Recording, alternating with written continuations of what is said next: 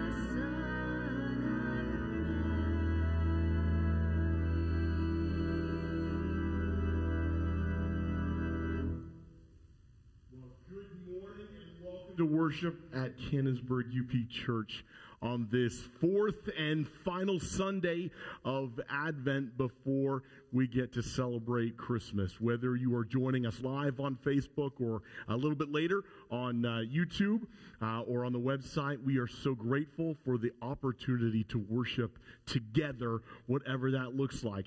Uh, we are continuing uh, to worship online uh, uh, only through the uh, 3rd of January. And so uh, you can join us uh, at any one of those. Obviously, if you're with us now, you're joining us. Uh, you found a way. But hey, there might be an easier way if you're not aware uh, yet. We are uh, going on uh, YouTube, and you can uh, go to YouTube and find our channel pretty easily. Uh, I encourage you to, to subscribe to it uh, if you're not already. This might be an easier way for you to connect with us and worship. I got to tell you, at home, uh, a little bit later this morning, we will be gathered uh, worshiping as a family together, and, and, we'll use the Facebook app because, uh, or sorry, the YouTube app because it's a little bit easier for us to get on the television, a little bit better for us than gathered around a small screen. And so, if that's better for you, I encourage you uh, to do that. Uh, we will be gathering, uh, we have three worship services on Christmas Eve at 7 and at 9 and at 11 p.m. And I encourage you, whichever ones of those uh, make sense for you and your family, join us for that. We're very excited uh, for some very uh, neat, different, uh, but very special uh, things will be happening on Christmas Eve for our worship. And so we invite you to join us for that. Again, whether it's uh, Facebook or YouTube or on uh, the website, we look forward to celebrating together on Christmas Eve. Hey, uh, I want to make mention of uh, something and someone very special this morning. Uh, I want to mention someone that many of you know, but maybe some of you don't, and that is Dave Garrison. Uh, Dave is a, uh, member, a deacon. Uh, he actually serves as the moderator for deacons. I think there's even a photo of him uh, that uh, that we have. There he is. Uh, just a couple of just a couple of weeks ago or so, took this photo here, and. Dave is a wonderful, wonderful servant of God, serving sacrificially here for so, so many years. Uh, but Dave has had a very challenging uh, story. Uh, when Dave was in his 30s, he had his first heart attack. Three young boys in the house, and Dave had a heart attack. Uh, Dave, uh, with diet and exercise and uh, and uh, medication, was able to keep uh, things going for for quite a long time. But finally, 18 years ago, Dave got to the point where he absolutely needed a heart transplant.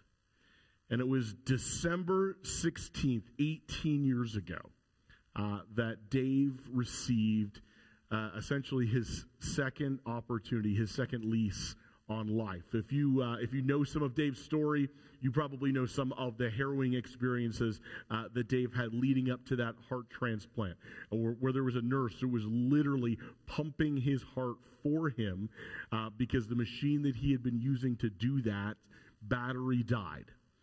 Uh, but we are so, so grateful uh, to be able to celebrate with Dave uh, this 18 year anniversary of his heart transplant. Uh, if we had been gathering normally uh, this past Sunday, we or uh, today we would be down in the fellowship hall between worship services with a cake and with decorations, celebrating uh, Dave's second lease on life.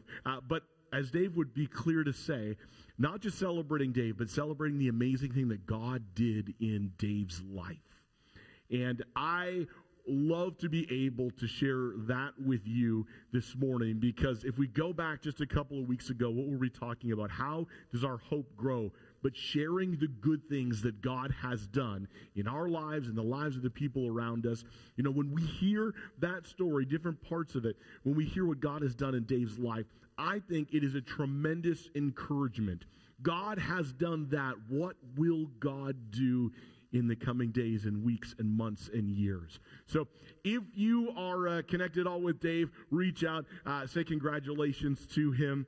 Uh, he just had a, uh, a checkup uh, that went very well. So we're so excited to celebrate with Dave and with Cindy uh, this, this day a couple other things. The pop up food pantry uh, just had its last distribution for 2020 and is tentatively restart. Uh, tentatively scheduled to restart on January uh, the 7th. That'll be the first Thursday in January.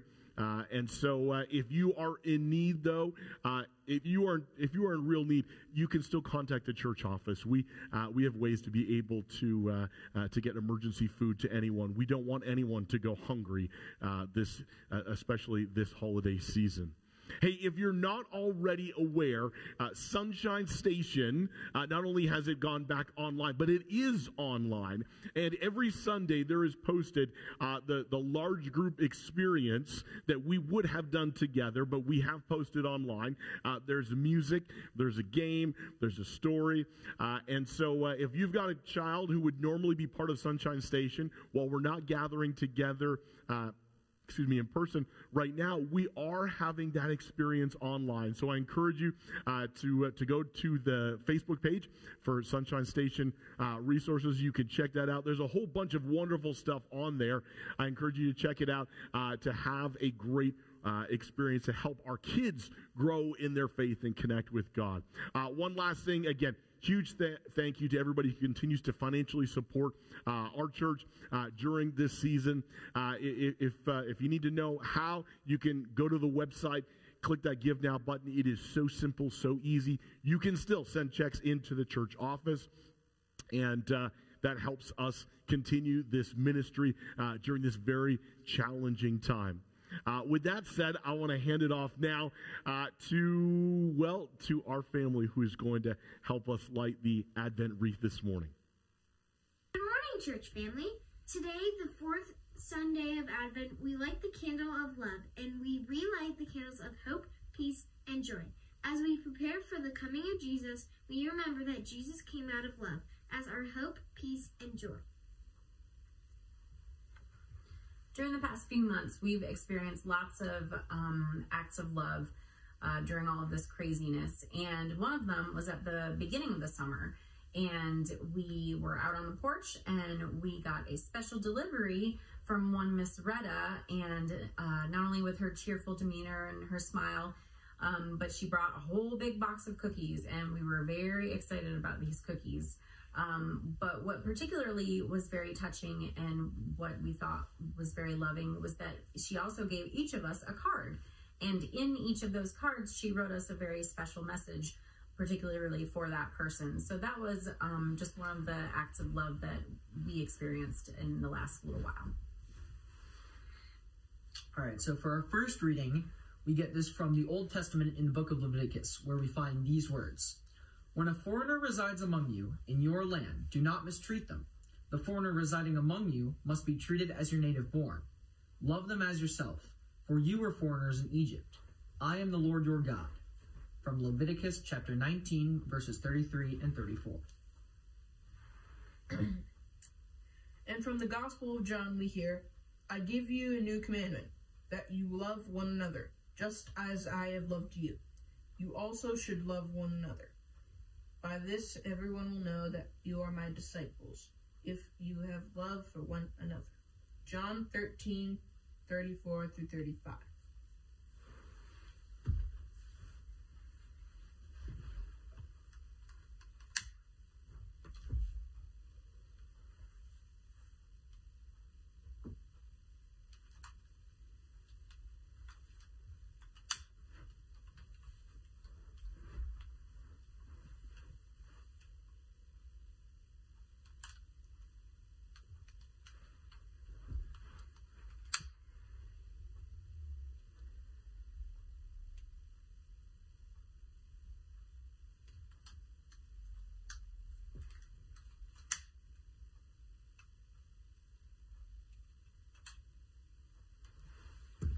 Let's pray.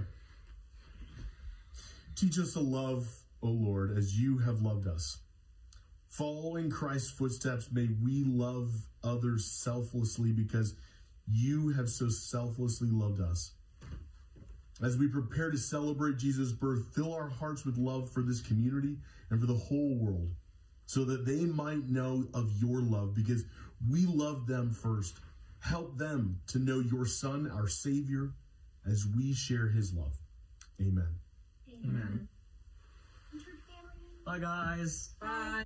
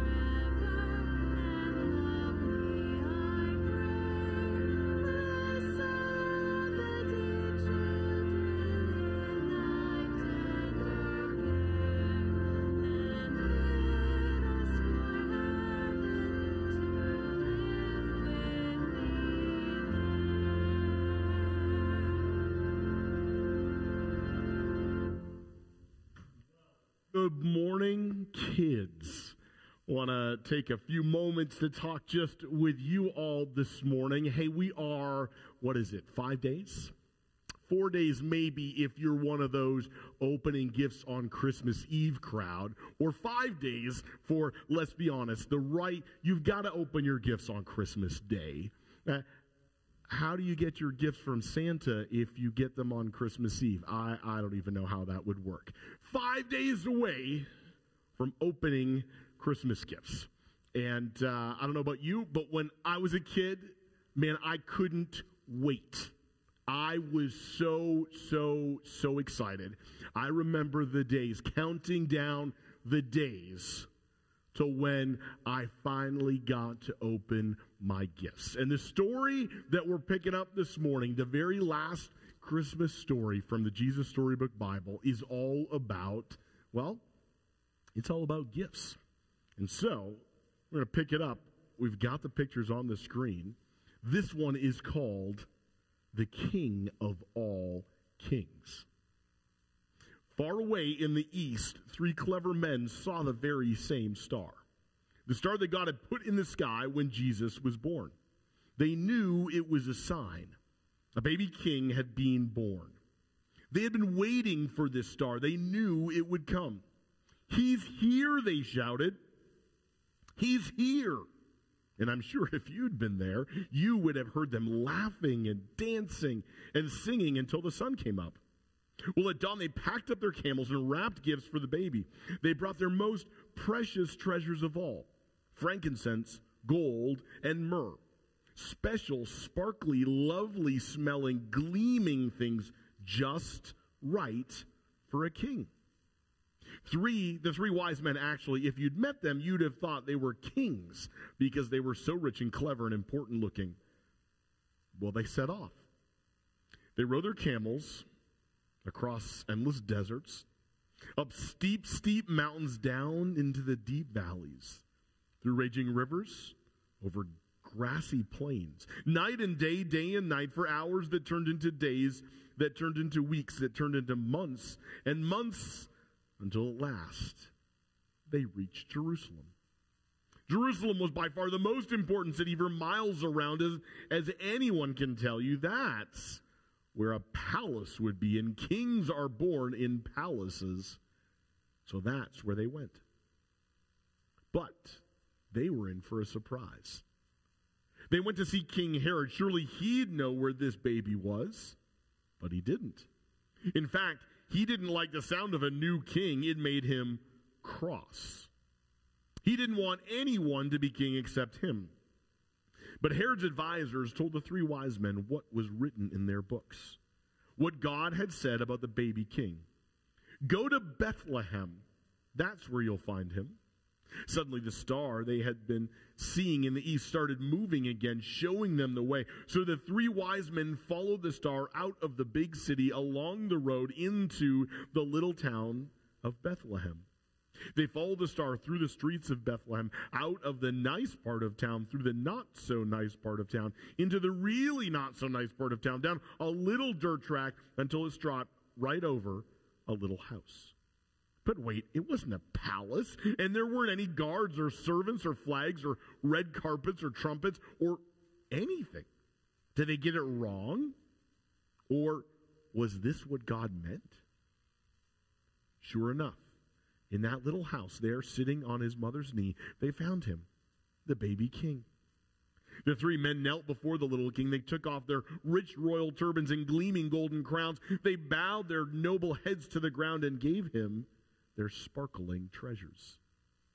The journey that had begun so many centuries before had led three wise men here to a little town, to a little house, to a little child, to the king God had promised David all those years before. But this child was a new kind of king. Though he was the prince of heaven, he had come, he had become poor. Though he was the mighty God, he had become a helpless baby. This king hadn't come to be the boss, he had come to be a servant. Love that story because it is such the perfect picture of Jesus. That last line, he didn't come to be the boss, he came to be a servant. God's love for us is so great, so unimaginably big, that He is a servant serving us. I got to tell you, there is nothing more breathtaking than when you imagine the very God of the universe serving, sacrificing, giving for you and me. And that is a perfect example of how we are to live our lives out of love, right? To serve each other.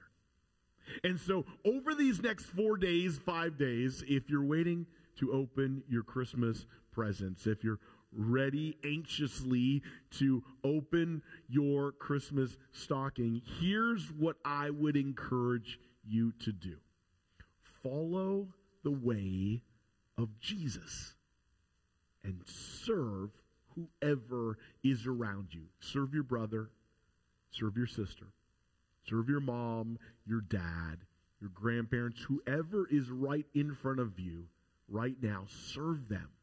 Show them the love that you have for them and the love that God has for them by serving them. You pray with me? Dear God, thank you for loving me. Thank you for serving me. Help me to love others by serving them in the way you serve me. In Jesus' name, amen.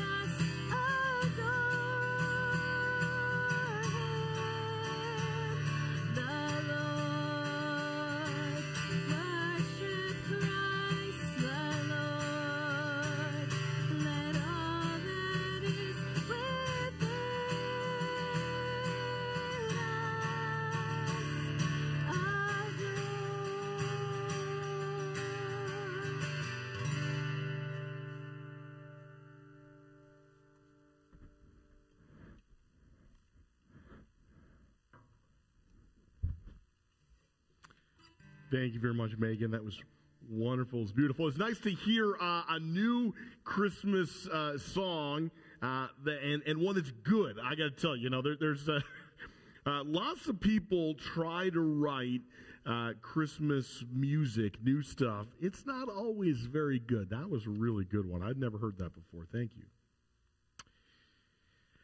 Uh, so just yesterday, uh, I got a chance to do something that has become a uh, pretty much a new Christmas tradition uh, for our family. Uh, yesterday, we went out to Giant Eagle, which has basically been where we've done it, and uh, we got to ring the bells for the Salvation Army. Now, we started doing this maybe our first Christmas here. I'm not 100% certain of it, but uh, it was Barb Mullen, uh, one of our former staff, who uh, uh, who helped to lead the effort with the Salvation Army in our area, and reached out and said, "Hey, would you like? Would you guys maybe like to ring the bell?" Uh, I never, I don't think I'd ever rung the Salvation Army uh, kettlebell uh, at uh, at Christmas before, and I thought, sure, let's give it a shot. And uh, we have really had a wonderful experience over the years ringing that bell. Sometimes uh, we have uh, brought my uh, guitar. Uh, this year we uh, we brought a list of Christmas carols and and we sang. Took some you know breaks, but we were we were masked up and we were trying to observe all the safety protocols. But it was so cool. It was so cool to see uh, a hundred different acts of love in that 90 minutes. In fact, we weren't counting. There was probably a lot more than that. Uh, but it's so cool. Uh, the, the, simple act of saying Merry Christmas and, and thank you. That's about all we said other than singing. And it was just wonderful to see these acts of love by complete strangers who would drop a dollar or five dollars or ten dollars or maybe twenty dollars into this into this uh, kettlebell for for people that they didn't know, but these acts of genuine, real love reaching out at Christmas, it, it's a tremendous encouragement.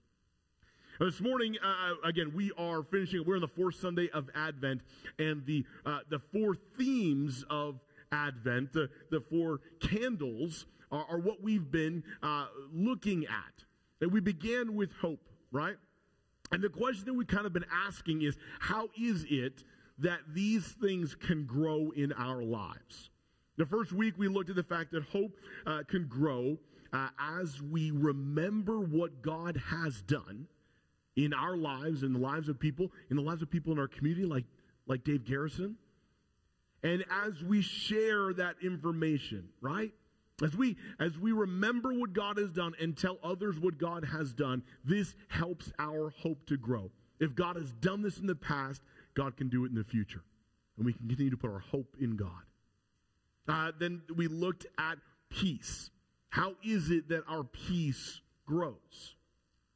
And it seems our peace grows as we surrender to God, as we surrender ourselves, our lives, our hopes to God, as we praise God, and as we bless other people, we discover that our peace is growing.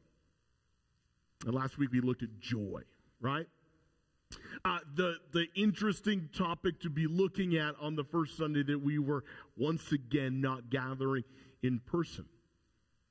Naturally, not feeling a lot of joy in the midst of everything that's going on around us. Joy is a challenge. It's certainly a challenge to manufacture. But we talked about the fact that even if we're not feeling joy or if we're having a hard time finding joy right now, that that joy is something that, that, that joy is actually the payoff of the hope. So if we put our hope in God, if we surrender and rest in God's peace, maybe, just maybe, the joy of the Lord will find us. This morning we, we hit the, the fourth theme, the theme of love. So I want to read to us not from a passage at all from the Christmas story, but from the passage uh, late on in the 15th chapter of uh, John's Gospel. Jesus uh, is gathered with his disciples. It's the uh, it's the last night. They are uh, uh, at the Last Supper. John's gospel is, is so unique and different and so wonderful.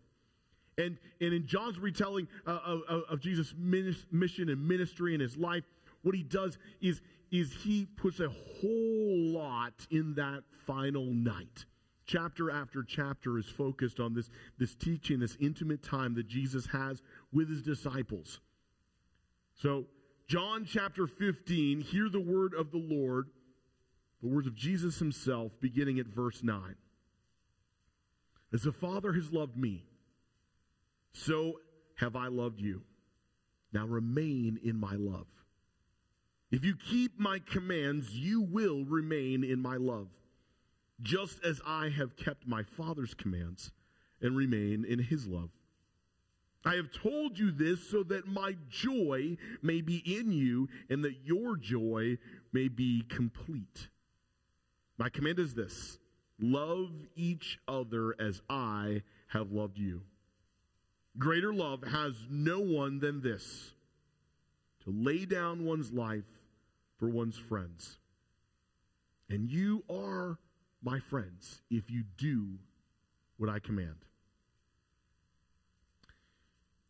Here we have, uh, again, this is part of Jesus' uh, final uh, instructions uh, to the disciples there at the Last Supper.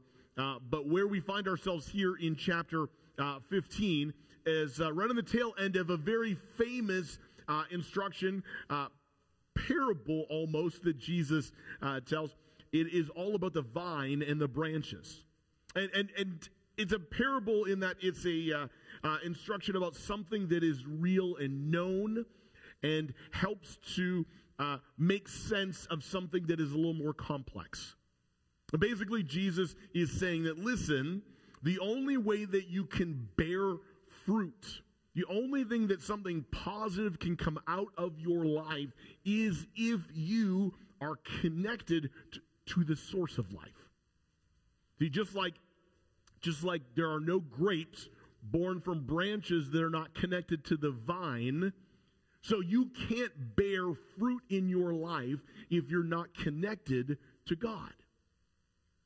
So Jesus says you need to remain connected to God. Truth of the matter is, is that if we are going to if we're going to bear fruit in our lives, then we need to be connected to God. Fruit, love is a fruit. So if we are going to bear love, if we are going to experience, if we are going to love, then we need to be connected to Jesus.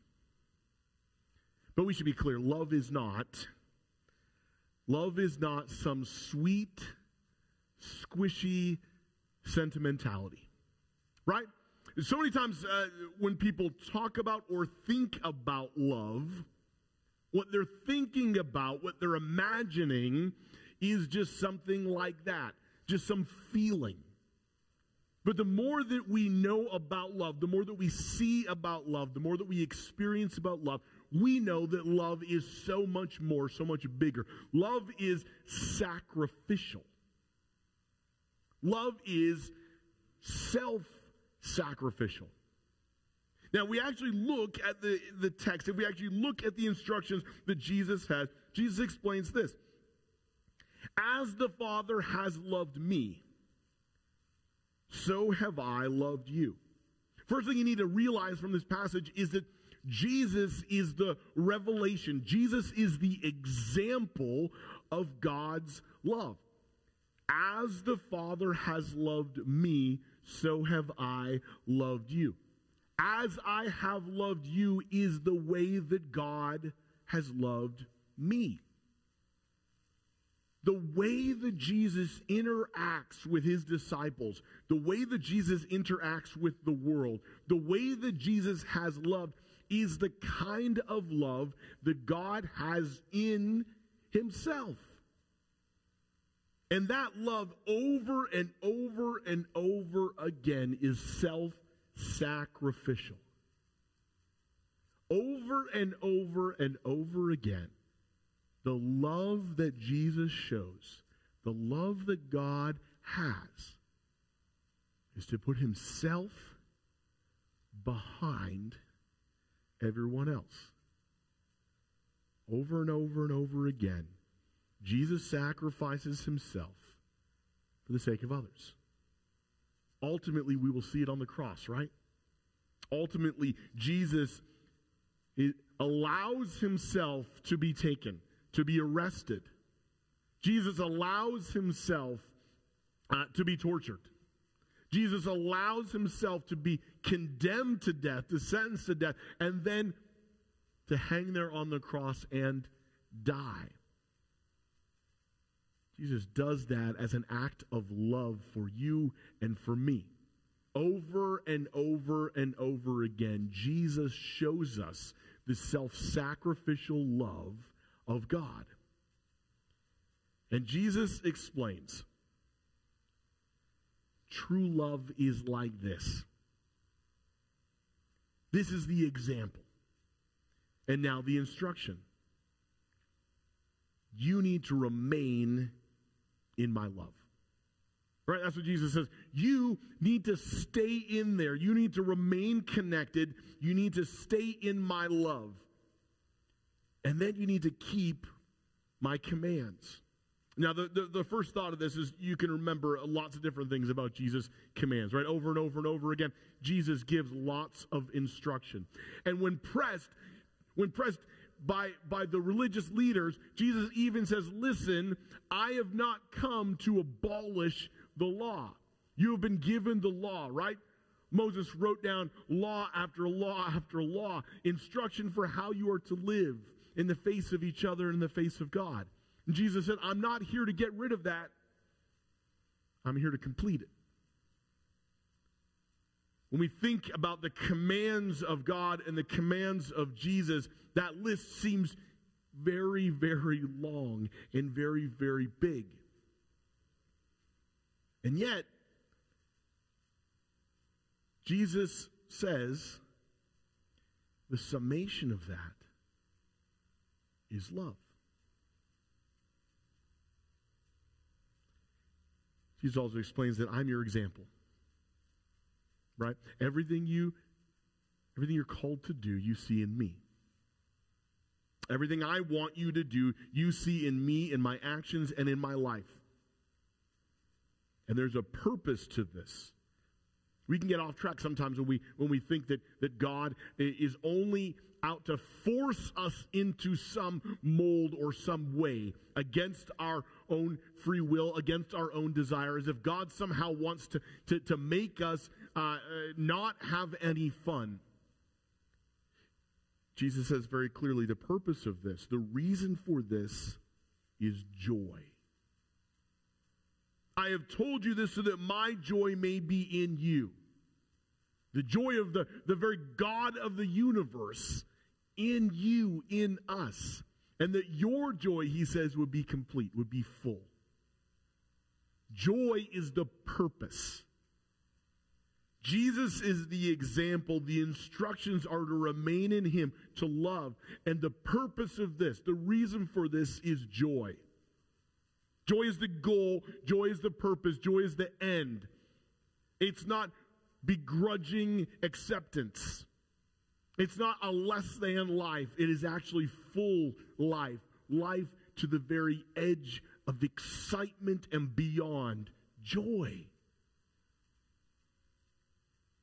And then Jesus repeats the instruction just in case we weren't clear. Love one another as I have loved you. All the commands, all the instructions is summed up in that. Love one another. The way that I've loved you sacrificially, putting aside our own self and our own desires, our own hopes and our own dreams for the sake of others. And then the example again there is nothing greater.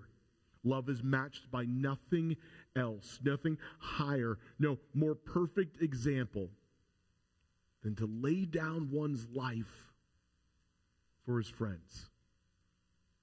This is both a, a summation and a pointing to what Jesus is about to do, right? Jesus is going to lay down his life. Jesus is going to give it up. Jesus isn't going to hide behind anyone else. Jesus is not going to hide behind his words. Jesus isn't going to hide behind the instructions, the law of God. Jesus is not going to hide behind an army of angels or an army of soldiers. Jesus is not going to hide by running away. Jesus is not going to stand behind anything. He is instead going to lay himself down to accept an unjust sentence. Jesus is going to lay himself down so that the fullness of love might be known and experienced by you and I. The truth of the matter is, is the more we love like that, the more we love others, the more love grows in us. The reverse is true. The more we hold back, the more we hold tightly to our life, the more we hold back what we have, the blessings that we've been given, the more we hold on to our rights and our freedoms and our desires, the more we lose.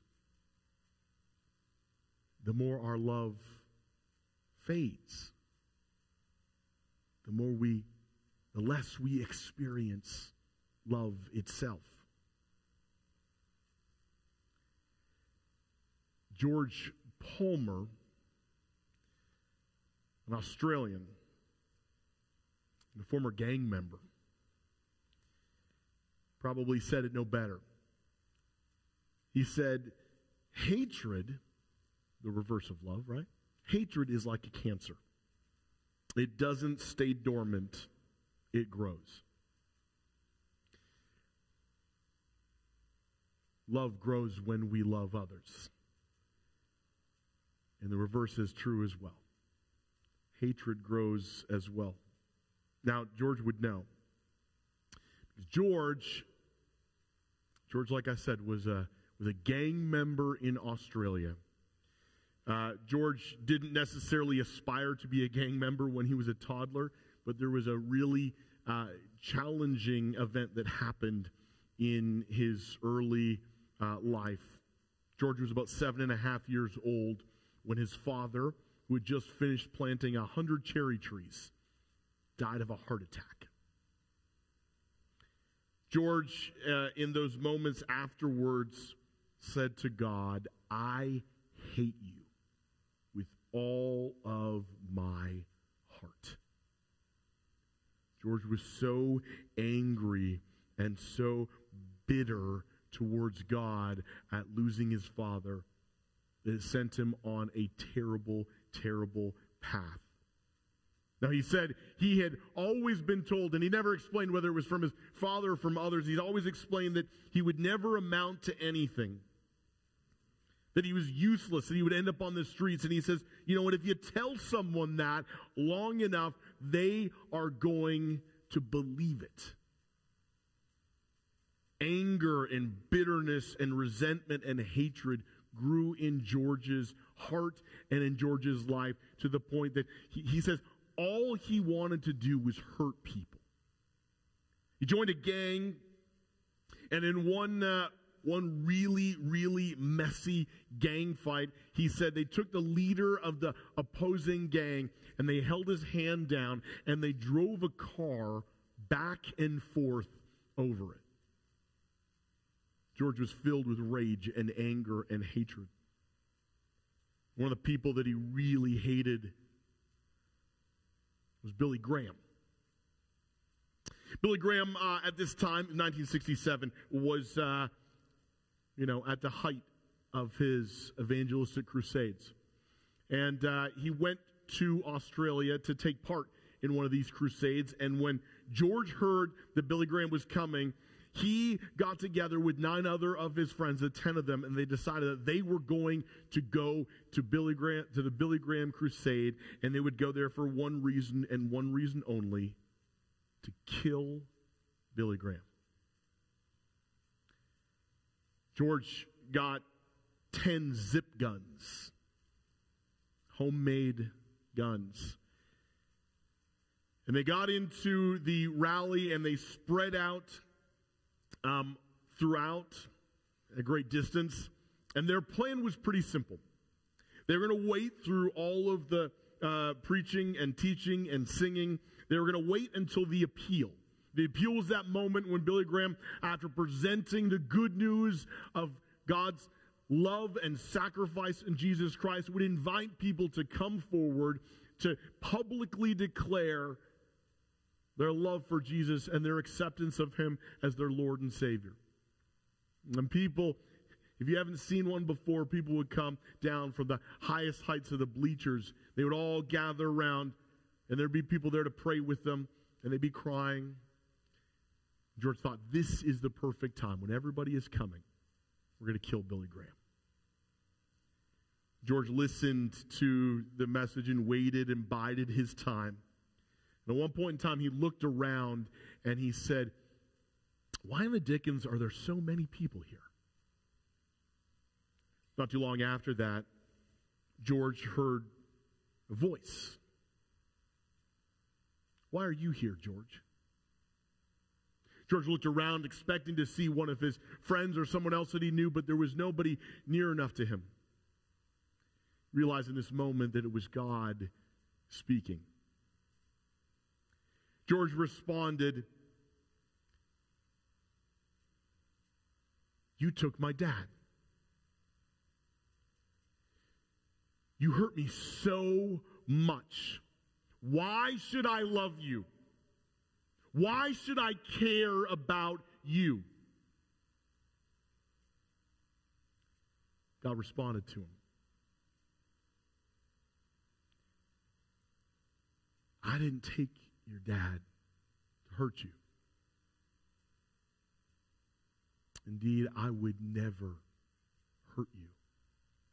Full stop. George said he started to melt. In that moment, he thought about for a while. The appeal finally came. George put down his gun. He came forward not with the intent to kill Billy Graham, but the intent to lay down his life and to accept the love of God in Jesus Christ. George explains that one of the most interesting things is that nine out of the ten of them that gathered that day gave their lives to Christ. He said, God took this person that hated him with every part of his being, yet God took him and loved him. It is amazing. He says that God can take a situation like we were in and change your life completely. And I thank him every day for that. I really do. George ended up being commissioned and serving for 30 years in the Salvation Army. Same group that we ring the bells for. Same group that we invite people to give towards sacrificially to love our community. What a beautiful story. What a beautiful example of not only God's love for us, but the way that we can receive that love. That love can grow. That love can have a tremendous impact in the world that we're living in now. Friends, do not doubt the truth of God's love for you. It doesn't matter what pain you have or are experiencing right now. God, be, God could be saying those same words to you that God said to George over 50 years ago. I didn't do that. I would never hurt you. I love you. And I've sacrificed myself so that you would know my love for you. Friends, God has loved us sacrificially. When we're connected to Him, when we are loving others sacrificially, our love will grow. Can you pray with me?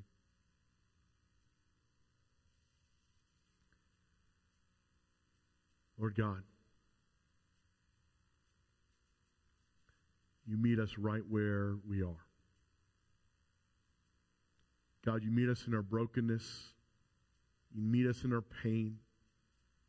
You meet us when we are lost, when we are walking down the wrong path.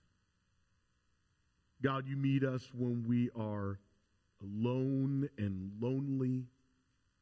God, you meet us right in this moment. And over and over and over again, you have told us, you have whispered, you have shouted those simple words I love you. God, help us to believe in your love. Help us to trust in your love.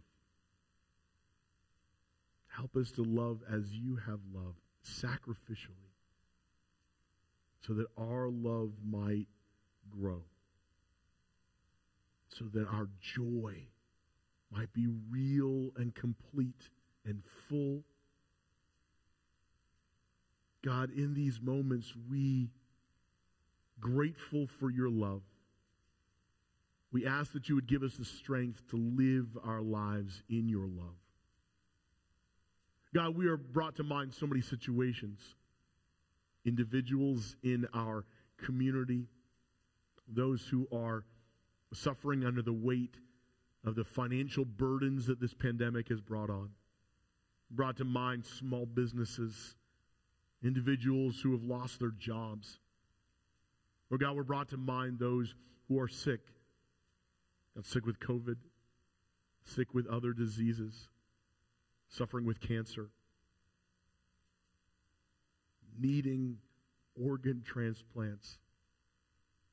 Brought to mind those who suffer with addictions, isolation, and the holidays and their natural times only bring out more and more stress. Now we bring to mind the natural order of this world, disasters that come upon us, and simple issues like snowfall and rain that can cause havoc not only on our roads, but throughout our world. God, we lift up to you our prayers. God, we lift them up to you in our hearts and aloud and on our screens. God, we trust that you hear us. And so we bind together our voices and our hearts to pray the prayer that you taught us, saying, Our Father, who art in heaven, hallowed be thy name. Thy kingdom come, thy will be done, on earth as it is in heaven. Give us this day our daily bread, and forgive us our debts, as we forgive our debtors. And lead us not into temptation, but deliver us from evil. For thine is the kingdom, the power, and the glory forever. Amen.